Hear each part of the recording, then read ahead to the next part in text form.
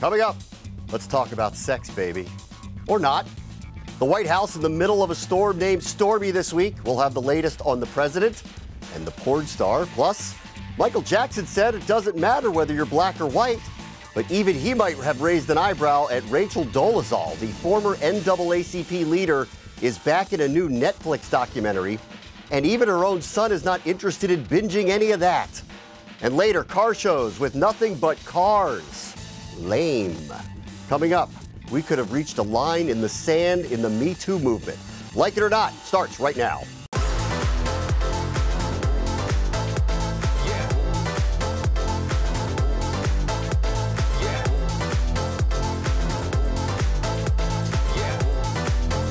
Look, we're back. Welcome into Like It or Not with Britt McHenry, Guy guys. Lambert. I'm Can you Bram say uh, I like uh, the sex thing again? I don't. I Do feel you like I really a want me to do that again? Just don't just don't add the let's talk about you and me and we're good. All You got it. I will never be able to replicate that. We are going down a weird wormhole this week. Porn stars and car shows, both ruined I love for it. everybody. So- Guys' dreams just shattered right there. a lot of them. Let's get to what's trending this week. And first up, the president and the porn star. Stormy Daniels is still not allowed to discuss whether she had sex with President Trump over a decade ago.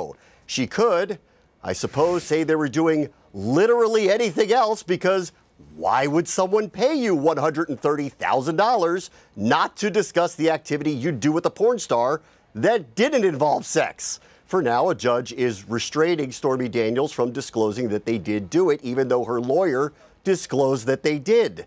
The courts are trying to figure out if an unsigned portion of a non disclosure agreement by someone not named David Dennison allows her to say or, uh oh, show what that thing we can't talk about might look like.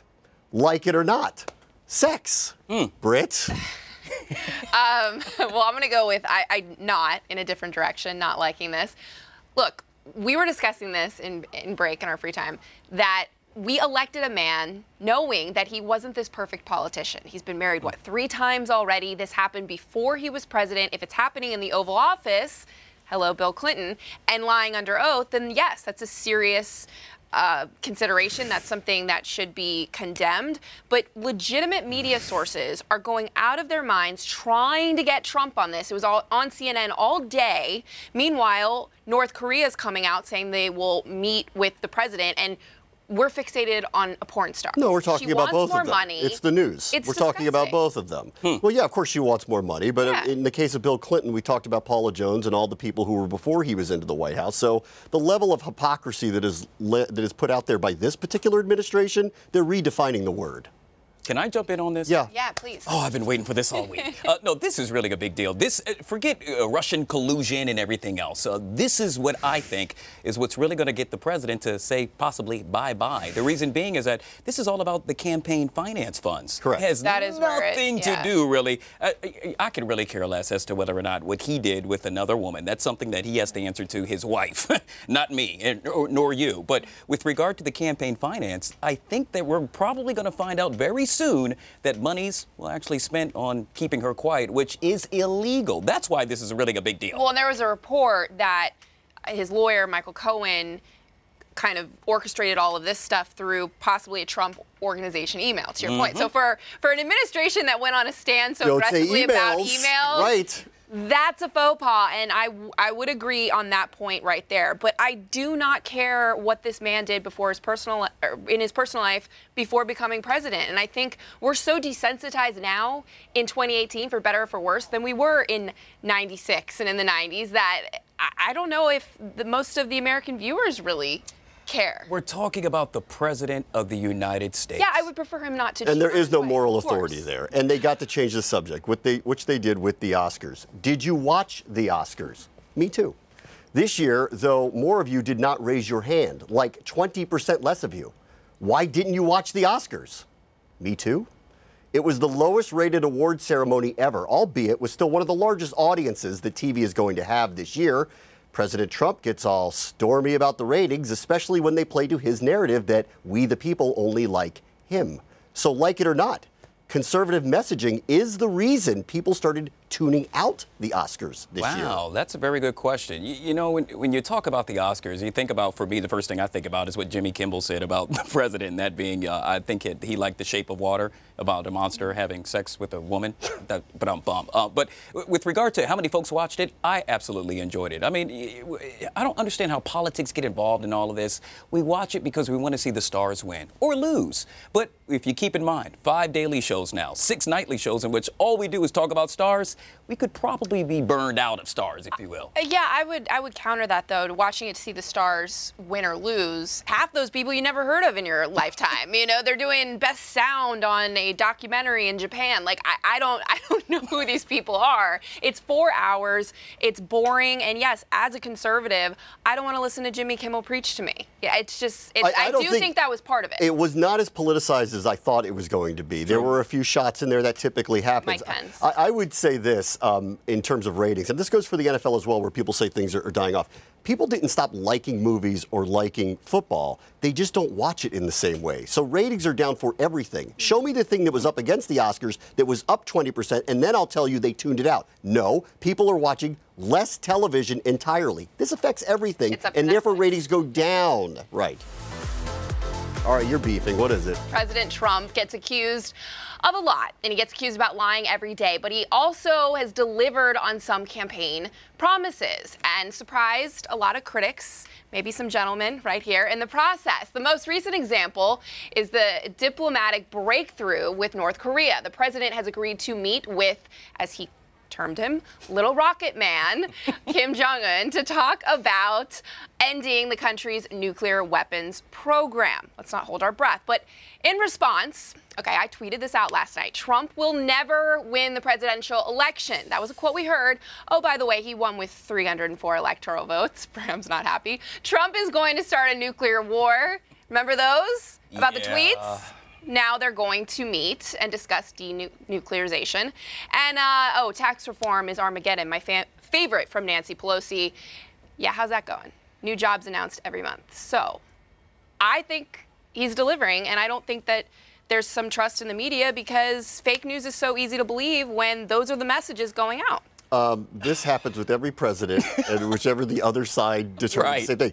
President Obama's apparently his birth certificate didn't exist for four years while he was in office, and we would say, okay, here he is delivering on this, and you're going, no, it's his birth certificate. And I did like your use of quotes without saying who actually said that. Yeah, you could because turn on that's CNN and MSNBC at any okay. point. You know what's really things. funny about all of this? We are now more than one year in into his administration, and you just made mention of three things. What is that? One thing, good thing every, what, four or five weeks now, if we add that up? Probably even more than that. Uh, kudos going out to you, Britt. You got this one. I'll bow down. But eh, because if it's Obama, we'd be hearing about it for eight year? years. And if it was Obama, we'd be hearing about his birth certificate and his religion. I feel like that gets overhyped. That wasn't Does it? the president was at the forefront of it. Look at media trying to track down Stormy Daniels' every move. Yeah, well, here Their we are. I agree with Trump you. Detente. Can we all have facts? I would love that. If both sides would come to terms with that, that'd be lovely. Meantime, combine controversy. Coming up next year, should a football team ask a potential draftee if he is gay? Like it or not, is back after this.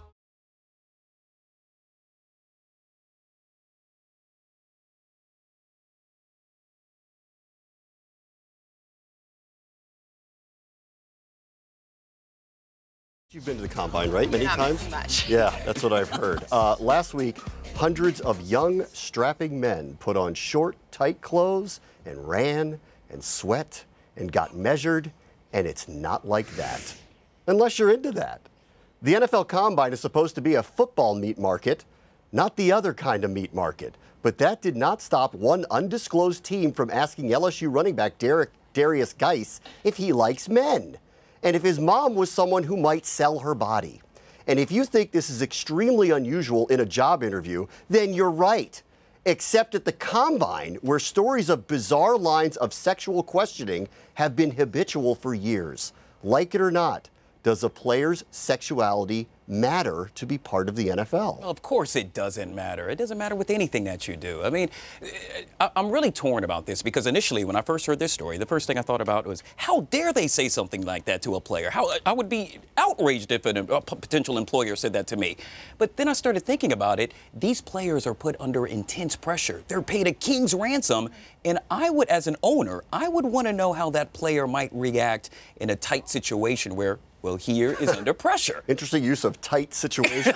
yes. So, so I, I, I get it. it. Bottom line is that the, both the potential players and the owners have to agree to say, hey, we're going to be in a position where we can ask you things to put you, make you uncomfortable to see how you're going to respond. I will say this: covering it and talking to other coaches in the league, they, they ask about girlfriends too. I mean, they ask right. a lot of inappropriate questions a lot. both sides of the spectrum. I think it's funny though that you say that because this is the same league that's just ignoring concussion and CTE issues. And mm. if, I mean, if there's more serious, pressing things to be concerned about, I think it's that we get outraged every year. They ask these questions every year, and it is to see how these players will perform under pressure. And look, it's not PC that will be an issue in a locker room with 53 guys. I um, will. it has. I been. will tell you partially though, they're not ready for an openly gay player, and that's why that question. Exactly. Well. They're it's, not. That, we know that's, the reality. That's unfortunately the yeah. truth of it. Unfortunately, coming up here, Rachel Dolezal is back with a new Netflix documentary, and even her son does not like it. We've got more on the backlash next.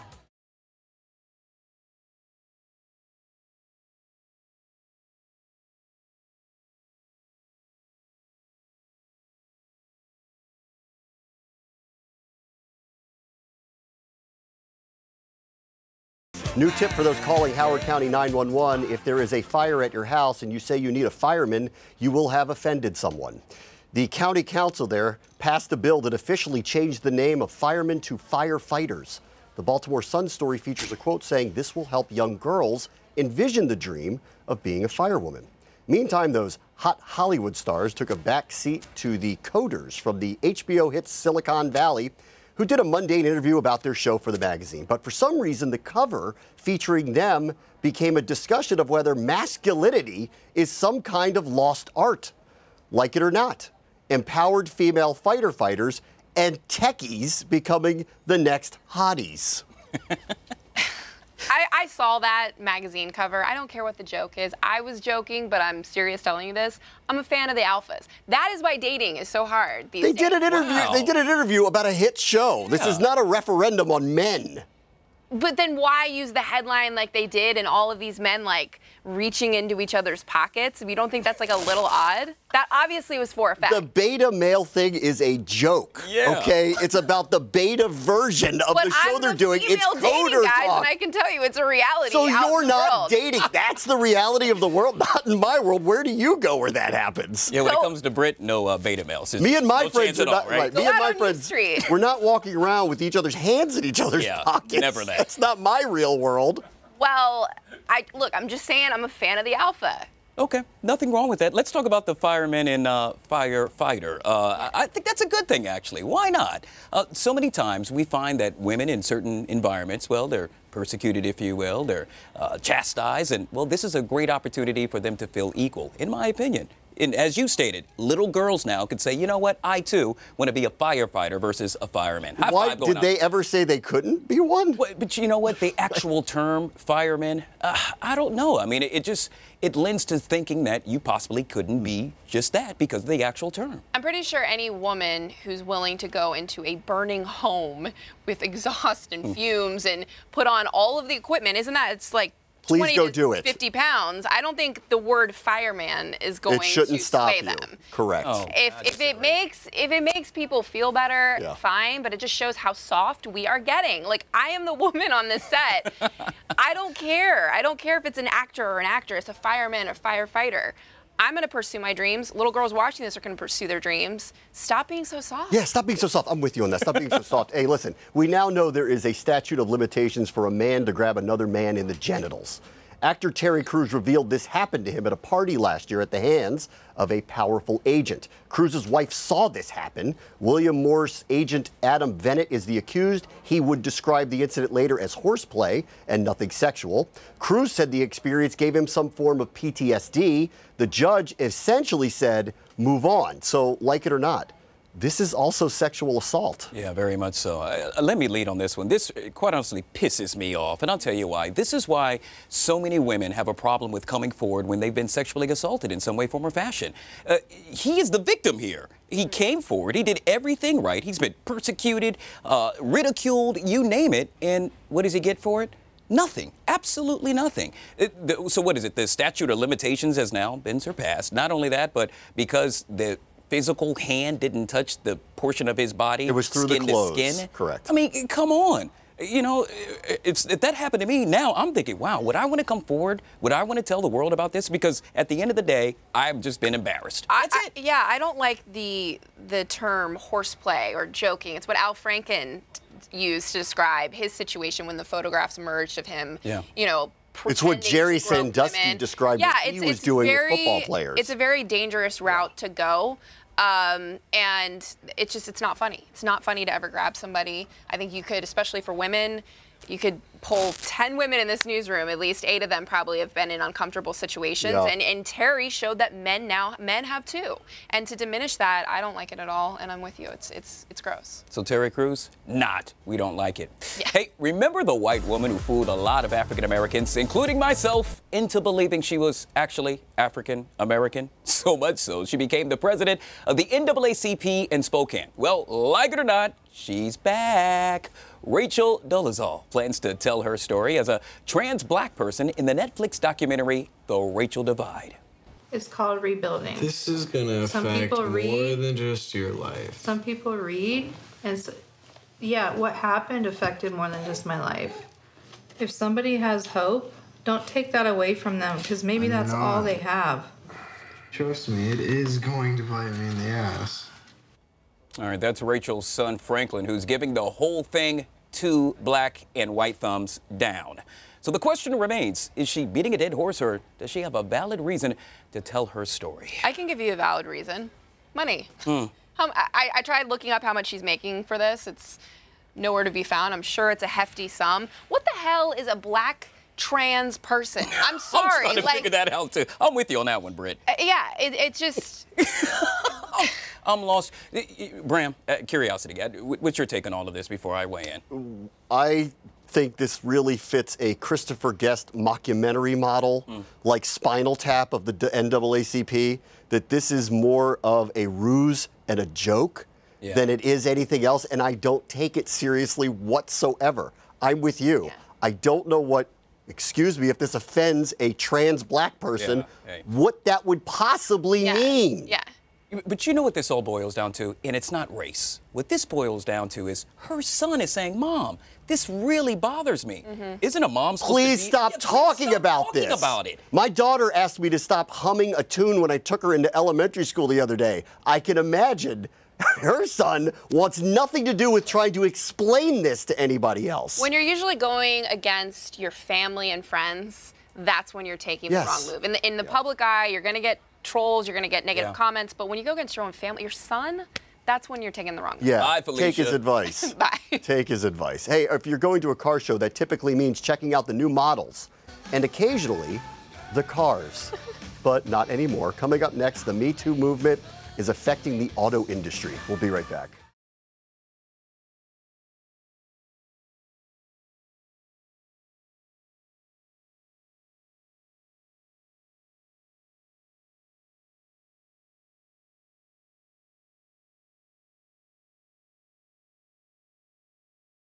You really want to make America great again? Stop telling me it's not appropriate to look at beautiful women who are wearing tight fitting clothing. Me Too has hit the auto shows where a number of major car makers are removing the models now, saying their inclusion in showing off new vehicles are not in line with current branding.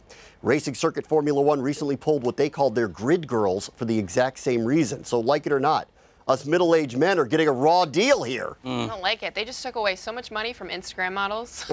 They're all crying on the internet. Look, if a woman wants to objectify herself, and she's getting a good salary for it, let her do it. It's her choice. She's the one owning up to But it. no one's making her go it's- stand there it's next to the car. Between five hundred to thousand dollars, I would guess, for the weekend. That's a good chunk of change. You don't have to work. I'm all tables. for that until I start thinking about if that woman happened to be my sister. Then I'm like, you know what? No, I don't want her doing it. Maybe your sister shouldn't do it. No one's making her. How about Yeah, that? but still at the same time, I don't know. This is the year of Me Too. We're supposed to, you know, uh, we have to respect women as they should be. And what we're doing, once again, we're This is marketing. Sex sells, and I'm buying, okay? Beautiful women attached to certain brands is something that a lot of us are attracted to and will spend for. Doesn't mean I'm buying the woman, I'm buying the car. We have a fan question, right?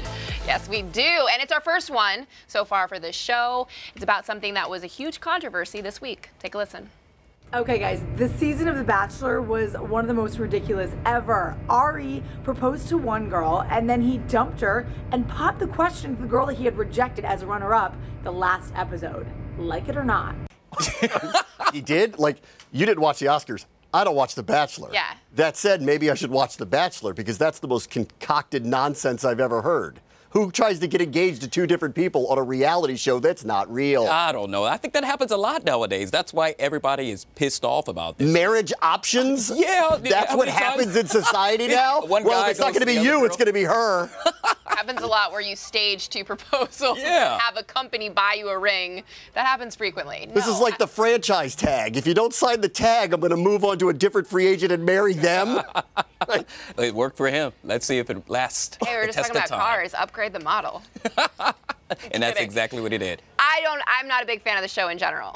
Real love happens off the internet. Does it? TV. I would hope so. I haven't so. found it yet, but Well, we love you guys. For Britt McHenry, she'll find it. Guy Lambert, I'm Bram Weinstein. See you next week.